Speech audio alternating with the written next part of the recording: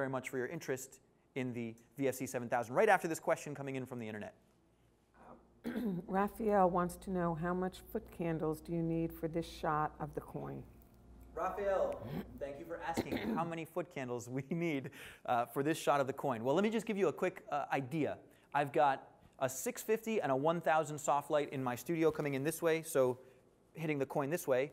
And um, over here, we've got our Litepanels Sola 6. So um, this is an LED light. We had to sort of gel it down to match our tungsten light. The output of this light escapes me at the moment, but it's crazy. It's crazy hot.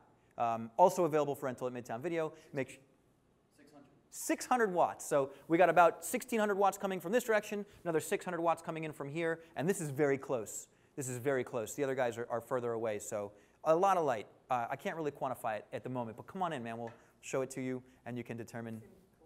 He's in Colombia? Well, thanks for watching from Colombia, man. Let's just say a thousand, a thousand foot candles. All right? All right.